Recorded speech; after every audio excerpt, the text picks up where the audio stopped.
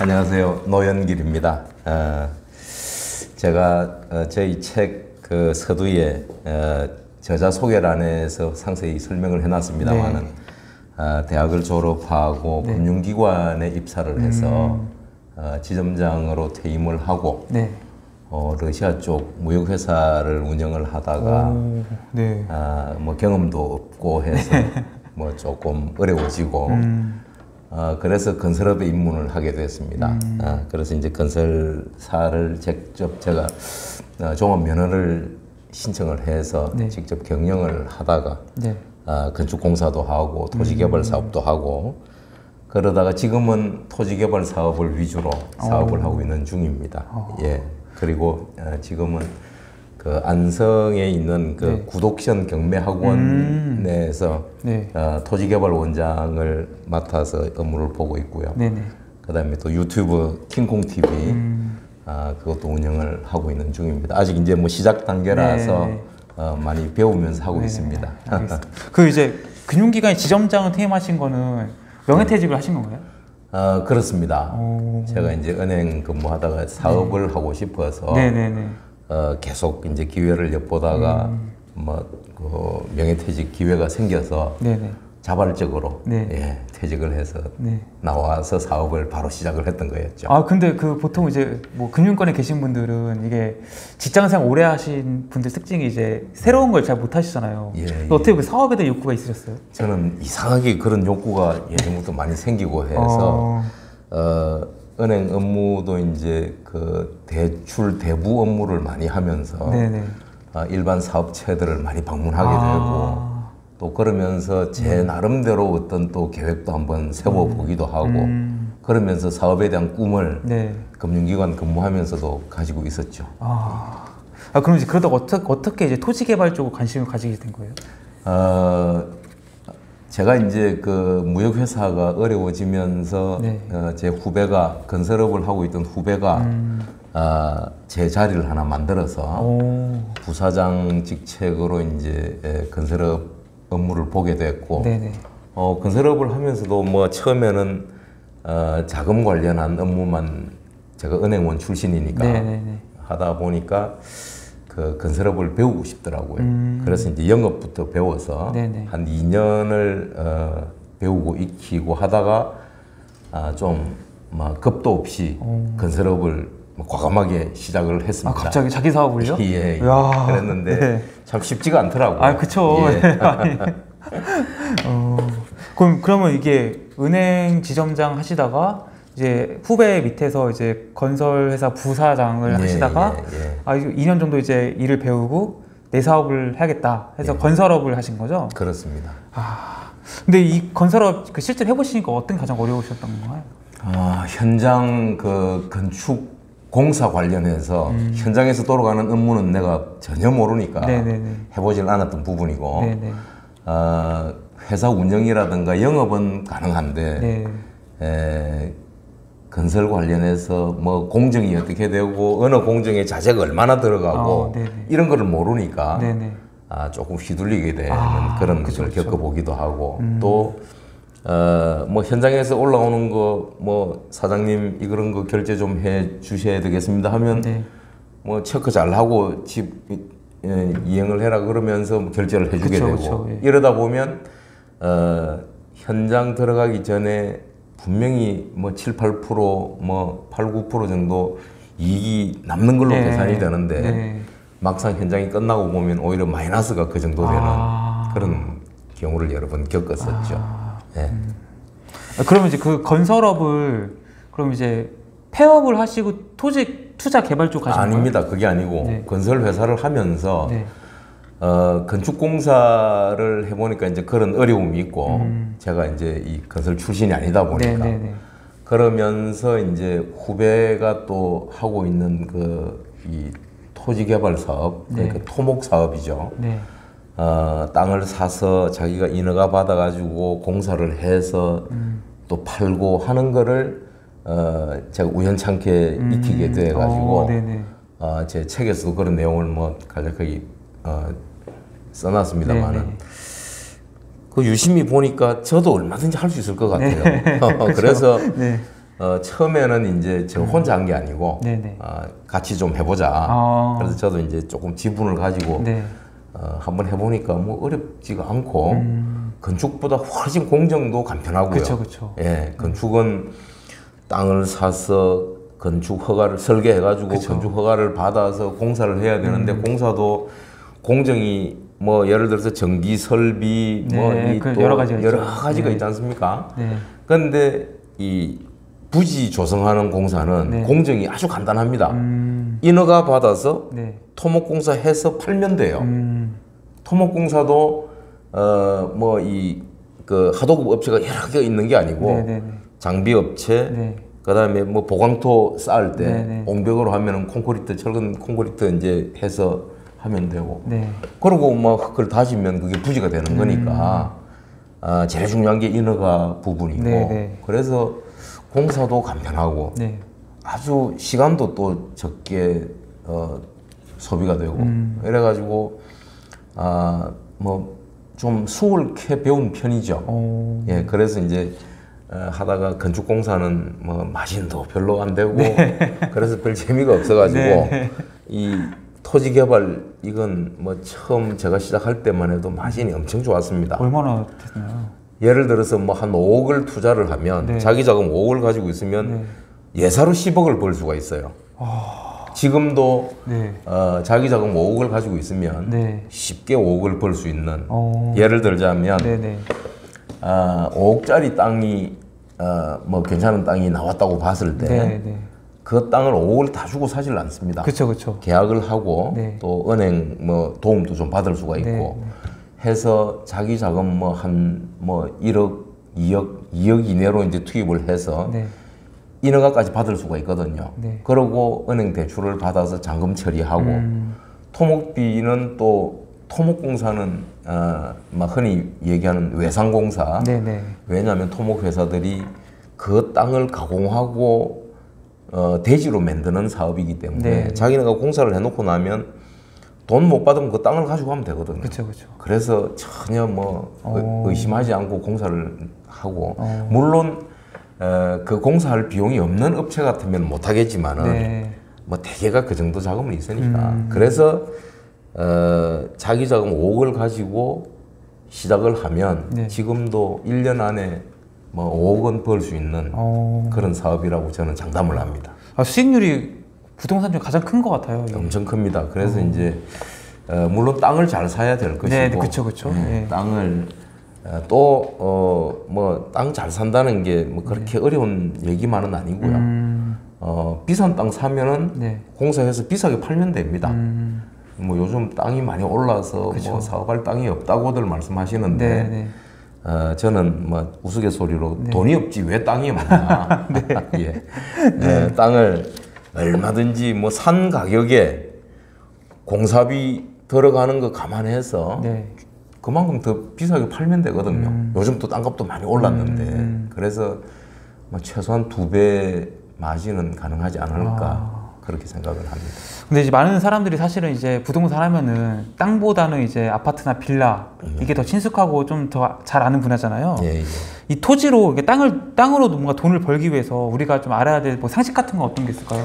어, 상식이라고 뭐 하면은 뭐 네. 아주 그 일반적이고 누구나 알 수 있는 네. 아, 그런 범위 내의 상식과 음. 또 약간의 뭐 지식, 네네네. 예, 그런 걸 가지고서 어, 중요한 거는 본인이 직접 한번 해보는 거, 음. 경험을 한번 해보는 게 가장 네. 중요하지 않을까 생각을 합니다. 아, 뭐 예를 들어서 음. 네. 일반적인 상식이라 그러면 아, 토지 이용 계획 확인원이라는 네. 서류가 있습니다. 네. 아, 그 토지 관련해서는 그 확인서에 뭐 웬만한 내용이 다 드러나거든요. 네, 네. 예를 들어서 뭐 예, 지목이 뭐냐.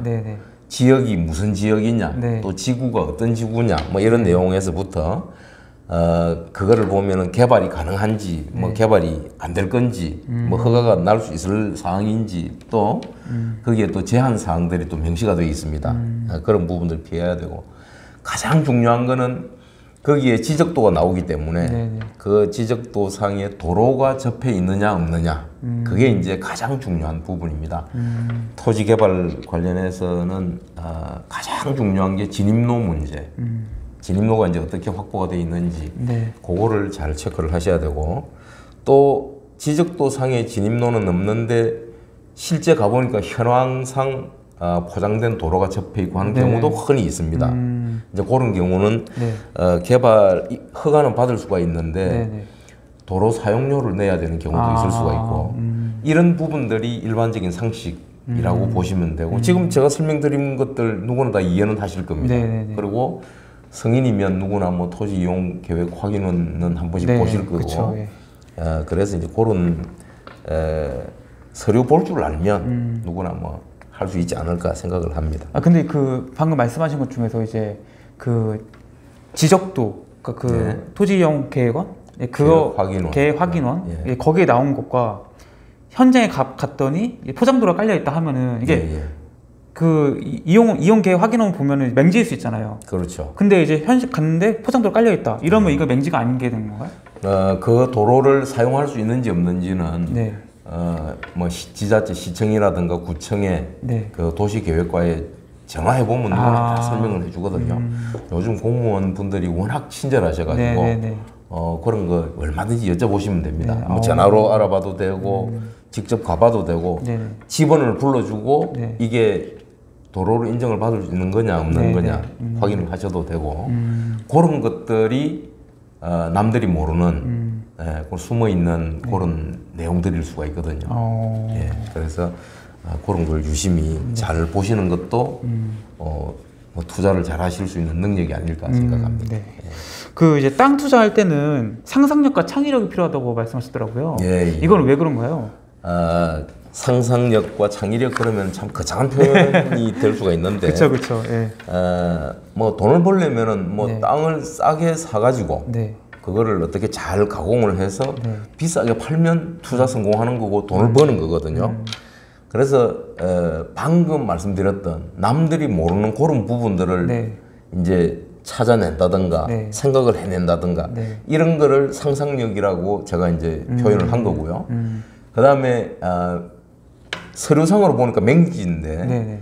맹지라도 어떻게 하면은 이거를 허가를 받을 수가 있을까? 네, 네. 예를 들어서 네. 첫 번째 도로를 사놓는 방법, 네. 두 번째 옆에 땅을 사용 동의서를 받는 방법, 네, 네. 세 번째는 뭐 다른 어떤 뭐 루트가 있어가지고 어디 국어라든가 네. 이런 걸 이용을 해가지고 할 수 있는 방법 이런 것들을 본인이 찾아내는 거죠. 음. 그래서 그런 걸 찾아 남들이 찾지 못하고 있을 때 네. 내가 찾아내 버린다면 뭐 그건 분명한 뭐 투자가 되는 것이고 음. 네. 어, 그런 것들을 잘 심사숙고해서 한번 연구를 음. 해보자라는 뜻에서 상상력이고 창의력이라고 제가 표현을 한 겁니다. 뭐 예를 들어서 뭐 제가 맹지를 만약에 샀어요. 네. 맹지 사가지고 그 도로에 있는 그 주인을 어떻게 알게 돼가지고 뭐 이용료를 주든 뭐 동의서를 받았어요. 예, 예. 그럼 저한테 제가 받은 동의서를 나중에 이, 이 맹지를 팔때 예, 이 예. 승낙서를 같이 붙여서 팔 수 있는 건가요? 아유 그렇습니다. 그 뭐 굉장히 좋은 질문을 해주셨는데 네. 어, 사용 승낙을 받으면 네. 어, 기본적으로 10년간 사용할 수 있다고 그럽니다. 오, 그런데. 어, 문제는 그 다음이 문제인데. 어, 10년이 막 그냥 평생이라고 이해를 하시면 될 것 같습니다. 어, 왜요, 왜요? 아, 네. 어, 그게 뭐 달리 이유가 있는 게 아니고요. 네네.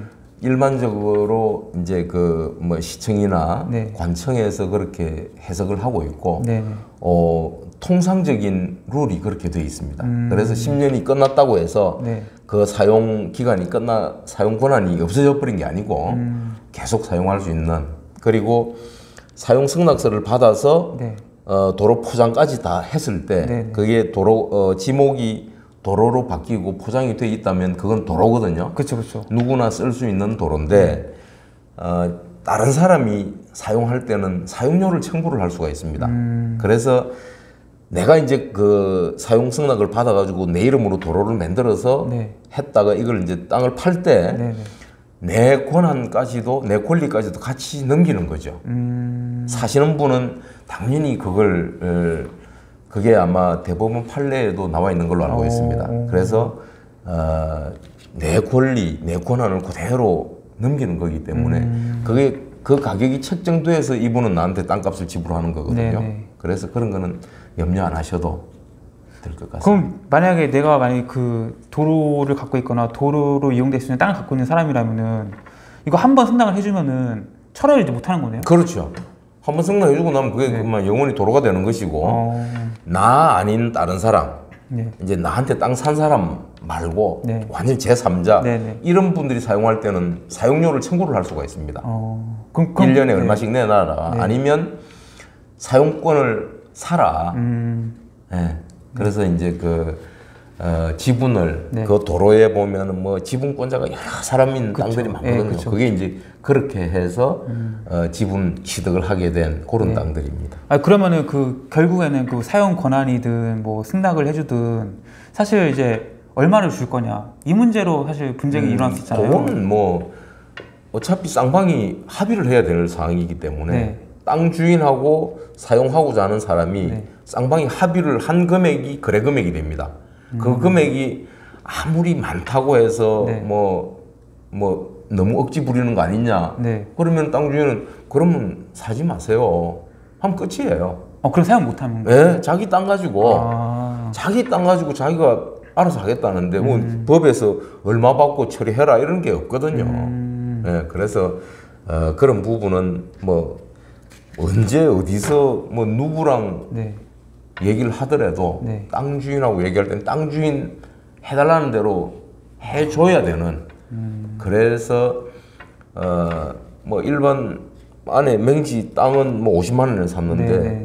진입로 살려니까 평당 뭐 한 500만 원 달라 그런다. 네, 네. 그것도 있을 수가 있거든요. 그렇죠 있을 수 있죠. 알바끼 하는 게뭐 그쵸. 그런 그- 거일 그런 수도 거죠. 있고 예. 그래서 그 진입로 없는 땅을 절대 함부로 해서는 안 된다는 아. 얘기가 그래서 나오는 얘기입니다. 그 어떻게 보면 가격적인 부분으로 사실상 어떻게 보면 거부권을 행사할 수 있는 거예요. 어, 그럼요. 그 그게 거부권이 아니고 네. 자기 권리입니다. 음, 그렇죠, 예. 그렇죠. 뭐 500만 원 내놔라, 1000만 원 내놔라 네. 하는 게 네. 자기 권리인 거고 음, 주기 싫으면 사지 마라. 음, 그러면은 그 사고 사고 싶은 사람은 못 사는 거예요. 그렇죠, 그렇죠. 예. 그 이제 토지 투자가 이제 수익성도 높고 안정적인 투자라고 하셨어요. 보통은 이제 뭐 아파트 투자 떠올릴 때 아파트가 많이 오르고 이제 또 안정적인 생각하는데 토지도 그런가요?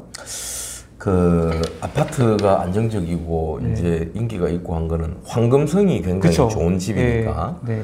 내놓으면 뭐 거의 바로 팔리죠. 더 예. 팔리고 네. 그다음에 또 요즘 최근 같은 경우에는 국가 정책에 따라서 뭐 굉장히 아파트가 많이 올라 버리고 네, 어, 그래서 뭐 예전부터 사람들이 아파트는 상당히 선호를 했죠. 네, 네, 그렇죠. 그런데 어, 앞으로는 우리나라가 인구가 줄어들고 있고 네, 어, 서울 경기 같은 경우는 뭐 조금 뭐 그 시기가 뭐 계속 뭐 이어질 수도 있겠지만은 경기가 지방 같은 경우는 지금 인구가 급격하게 줄어들고 있거든요.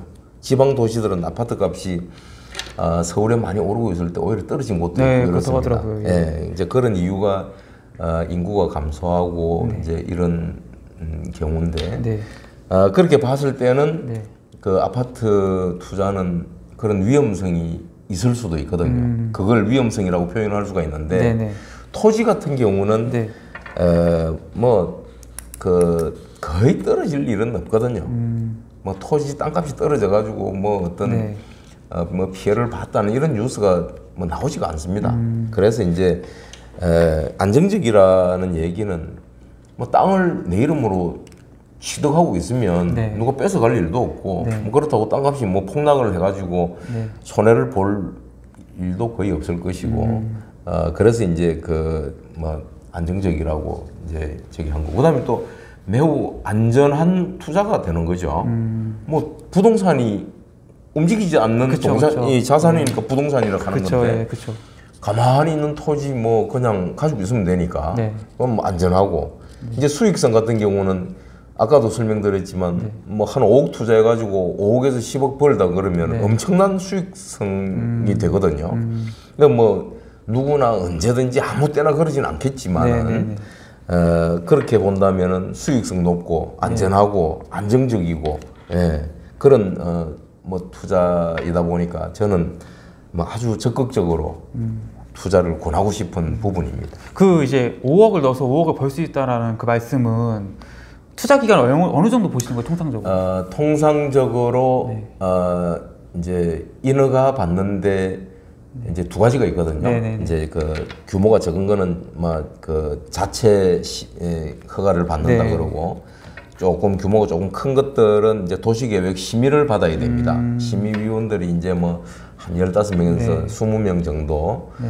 어, 그 심의 받는 게 조금 까다로울 수가 있어서 어, 어, 한 3개월에서 6개월 사이 아, 계, 계획을 그렇게 합니다. 이제 거의 어, 뭐 법적으로 하자가 없는 땅이라면 거의 그 기간 안에 이제 인허가는 나오죠. 야, 나오면 네. 아, 토목공사 하는 기간은 뭐 땅 어떤 그 경우에 따라서 이제 네. 조금씩 다르고 면적에 따라서 다를 수가 있겠지만은 네. 대개 한 2, 3개월이면 되고 어, 예를 들어서 화성 같은 경우에 어, 공장 부지를 개발하고 있으면 네. 가격만 적정하면 거의 공사하는 도중에 매매 계약이 다 됩니다. 음. 이렇게 봤을 때 뭐 한 1년 정도면 투자 기간 1년 정도면 네. 뭐 충분하지 않을까 이제 이렇게 저는 생각을 하고 있고 네. 경우에 따라서 이제 땅값이 오르고 있는 지역 같은 경우에는 아예 올라 버린 금액을 적용하는 분들이 들어 있습니다. 음. 이런 분들은 이제 어, 시간이 조금 더 걸리더라도 나는 비싸게 팔겠다. 네네. 음. 이러면 시간이 조금 더 걸릴 수가 있고 어, 제 경험으로 봤을 때 네. 어, 예를 들어서 뭐 평당 한 120만 원의 분양을 하다가 네. 네. 조금 이 분양이 조금 멈칫하길래 10만 원을 떨어뜨렸어요. 네. 110만 원의 부동산들한테 얘기를 했더니 순식간에 팔려버리더라고. 어, 10만 원만 내렸는데 예, 10만 원 내렸는데 그래서 한 3분의 2 정도 팔렸을 때는 다시 수도를 했어요. 와. 예, 굳이 이제 그럴 그쵸, 그쵸. 필요가 없으니까. 그쵸, 예.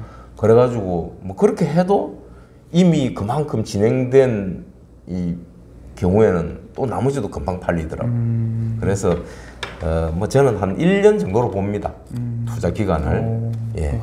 아 그러면 그게 이제 우리가 또 부동산도 세금 있잖아요. 예, 양도소득세. 토지는 양도세가 어떻게 되나요? 어, 사실은 그 토지 개발 사업 중에 가장 이제 무서운 게 양도소득세죠. 네. 어, 그래서 이제 제가 어, 책에서도 여러 번 뭐 이 언급을 했습니다만은 네. 토지 개발 사업을 하면서 어, 예전처럼 이렇게 부지만 그냥 분양을 하지 마시고 네네. 건물을 지어서 파는 에, 왜냐하면 부지만 팔게 되면 어, 그 토지를 비업무용 토지라 해가지고 네. 양도소득세를 10%를 가산을 시킵니다. 음. 그 10%가 상당히 크거든요. 그쵸, 크죠. 예, 네. 그다음에 어, 공, 건축 공사를 해서 집이든 공장이든 지어서 팔게 되면 네. 지을 때 들어가는 건축비 네. 그거를 경비로 처리를 할 수가 있고 음, 또뭐 이 뭐 이런 표현을 하기 그렇습니다만은 뭐 조금 업을 시킬 수도 있을 것이고 음, 그쵸, 그쵸. 건축비를 네. 네, 여지가 좀 생기는 거죠. 예, 네. 뭐 여지는 그 많이 생기는 네. 거고 그리고 어, 또 비업무용이 아니기 때문에 네네. 예, 이제 업무용이 되기 때문에 10%더 내는 걸 안 내도 되고 음. 해서 어, 상당히 그 지어서 파는 게 네. 이익일 수가 있습니다. 음. 그리고 이제 뭐좀뭐 저희들처럼 이렇게 전문적으로 네. 하는 경우에는 개인으로 하지를 않고 네. 아, 개인으로 했을 때는 양도소득세가 되고요. 음. 그 다음에 법인으로 하는 경우에는 법인세를 냅니다. 네네. 법인세라는 거는 우리나라 법인세율에 의해서 그쵸. 납부를 네. 하는 거고 네. 어, 법인의 이 소득이 얼마가 되느냐에 따라서 네. 그 등급에 맞는 세금을 납부하게 되니까 네. 아, 좀 유리한 부분도 많이 있습니다.